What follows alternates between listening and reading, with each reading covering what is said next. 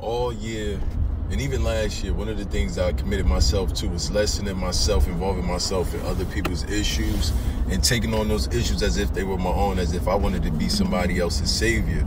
Um, I found myself going through this so many times because it always led me to a place where I almost was overwhelmed or I became angry at the person that I was initially aiming to help because uh, someone's resistance to actually taking the feedback that they seemed as though they were reaching for, or the simple fact that I was just always participating in the issues for them. But then when I was going through my things, I felt as though I had to handle them myself. And so one of my favorite stories that I like to always go to to kind of reflect on my life or you know, books, shall I say, is The Agony and the Ecstasy because it talks about some of the struggles that Michelangelo went through as an artist um, from a young standpoint up into an older standpoint ideally you got to understand that's why it's important to have boundaries you know one of my favorite parts of this the book of the agony and the ecstasy with michelangelo is when he has to basically have a conversation with the brother of lorenzo de medici um, he pulls him into his room or his lodge in the castle and he says listen um, you know, I need you to do this sculpture painting of my wife for me. I've been thinking about this. I need it done within a certain time period. And so Michelangelo is, of course, he's flattered at first and he's honored, but then he initially thinks about it like, you know, it's such an important task and I'd rather not do that. I'd rather do something that's more safer because if I create this sculpture and if it's flawed in any aspect, not only will I feel embarrassed, but it would also be a misrepresentation of royalty. So I don't want to do the task. The thing about Michelangelo was that he got became furious. He became fired up once the prince had told him, no, uh, you had to do it or it was a consequence. And that's one thing about Michelangelo throughout the book. You realize he's very, he got strong beliefs. He's very committed to what he believes in. And so, you know, he said, no, I'm not doing it. And then he walks out, right?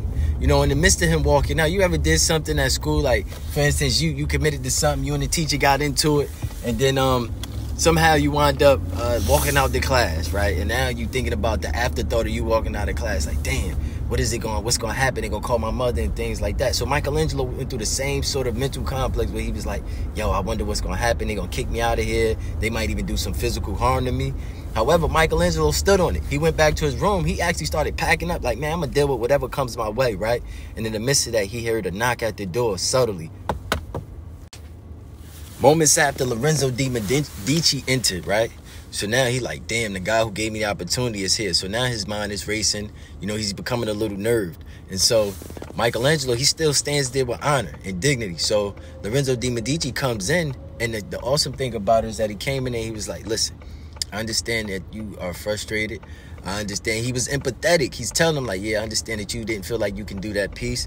He said, you know, and I respect you for that. He said, listen, you'll still have a stay here. Don't worry about packing your stuff. Unpack your stuff. You good in my book here. However, the only thing I request of you is that you apologize to my brother.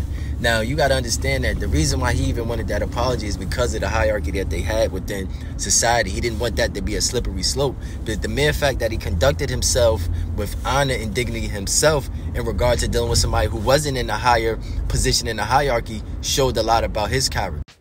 I think the greater part of the story that I, I really appreciate is the fact that not only did he stand up for what he believed, but he was willing to, you know, accept any consequence that came with it. And I think that's life. A lot of times we do things and we're not willing to accept the consequence that comes with it. Even if it's our own belief system and we feel in our hearts and we know within our guts, like, man, this is just how I feel. This is how strong I feel about it. A lot of people won't take the initiative to do so. And my advice to anybody that's watching my video today is take the initiative to do so.